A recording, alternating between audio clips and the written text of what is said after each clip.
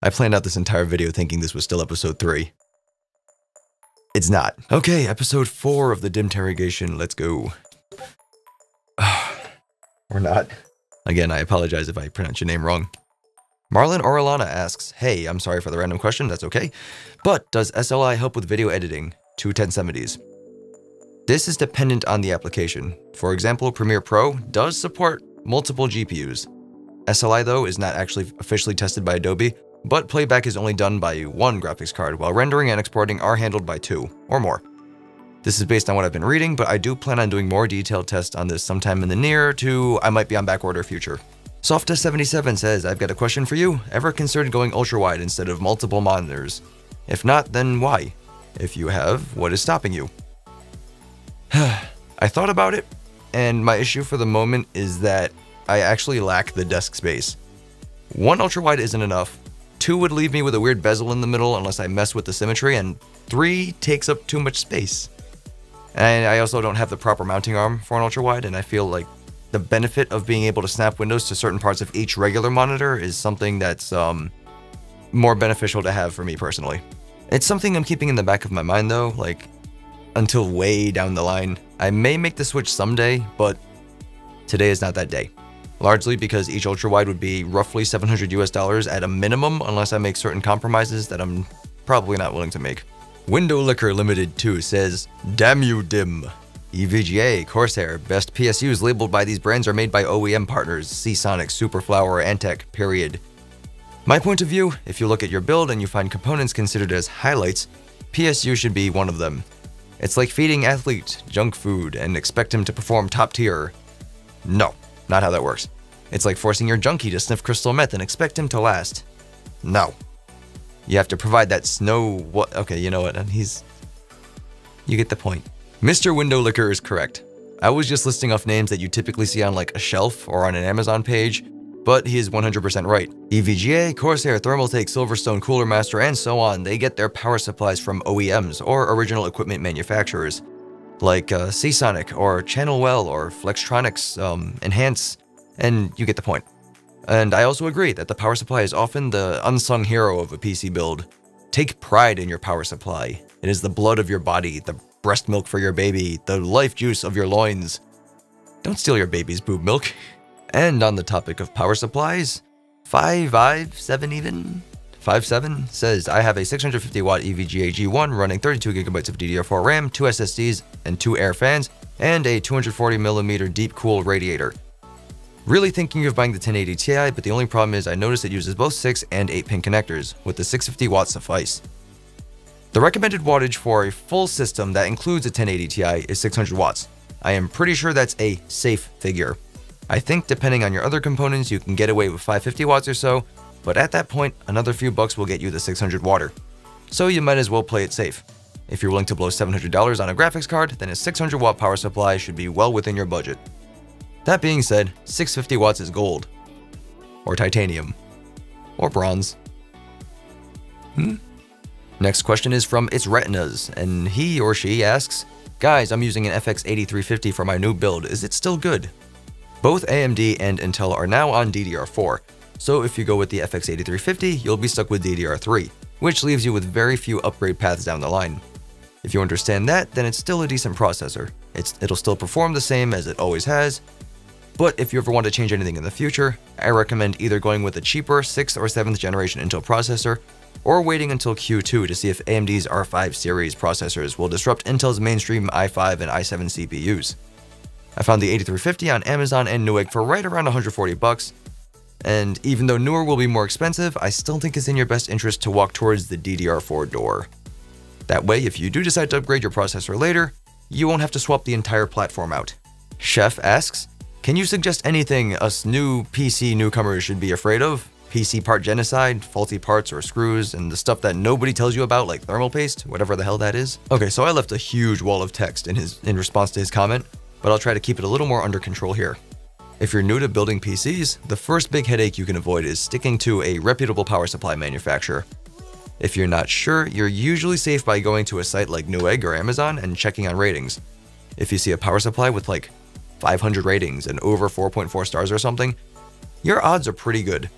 If you have one GPU or less, a 600 watt power supply is more than enough to handle your entire computer.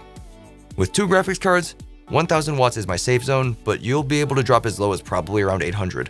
I will be testing this more in the near or distant future, so you can look out for that. When putting your computer together, don't forget the I.O. shield. It's this rectangular metal piece that goes in the back of your case where your motherboard ports stick out. Building your computer just to find out that you have to take it apart to put that bit back in is the most annoying thing next to NPCs that don't know when to stop talking and me when I'm hungry. When you're installing your heatsink, some companies will pre-apply thermal paste and some will not. For the companies that do not, they oftentimes have a plastic film covering the bottom plate. Be sure to remove that, otherwise your computer will explode. No, it won't, but you will get alarmingly high temperatures. And then after that's removed, you can apply a small amount of thermal paste to the processor and install the heatsink as per the instructions it came with. Other than that, you'll just want to keep an eye out on compatibility. PCPartPicker.com is a good website that will usually let you know when something you've chosen will cause an issue with something else. I may or may not do an in-depth video on selecting and building a computer, but that would take a long time. Not because it's like particularly complicated, but just because there's a lot of information that I would have to cover, and I want to make sure I've got all my ducks in a row before I release anything, and it would probably take me the better half of a hella long time to script and shoot and edit. If you have anything more to add here, then do leave it in the comments and bump it up with a thumb so other people can see your contribution. Now these next questions are more about me and less about computers, so if you don't really give a damn about what I think, feel free to swoosh on out.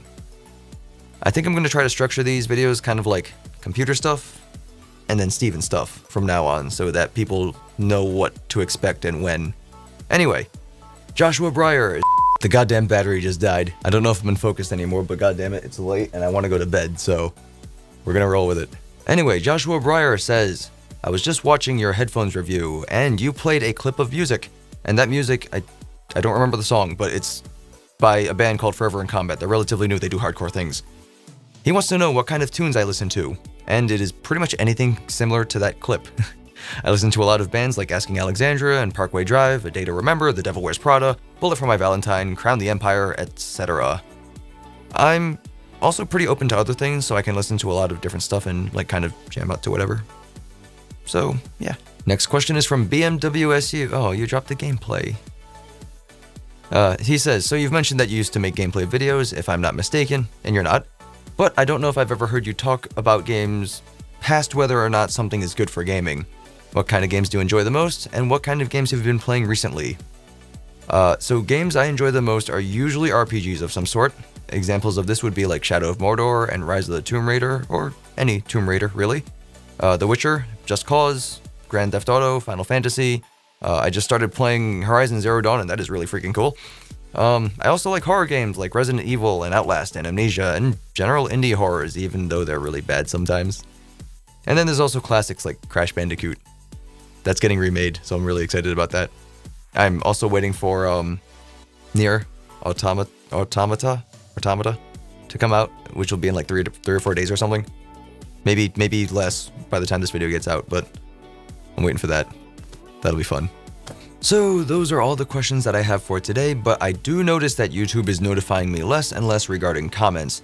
And then I gotta go digging through my, my comment feed to make sure I didn't miss anything, and I don't have time to go do that every single day. So if you leave me something and you find that I haven't responded in 24 hours or so, you can go ahead and shoot a question over to a little dim at gmail.com and I'll try to answer you there. Just put something in the email subject like question in all caps.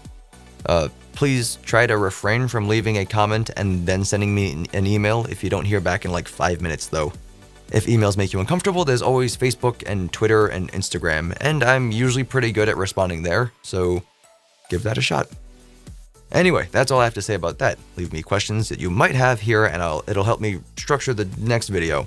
If you want to help support me and the time I put into doing these things, my Patreon link is down below, but feel free to ignore it if you have something on your wish list.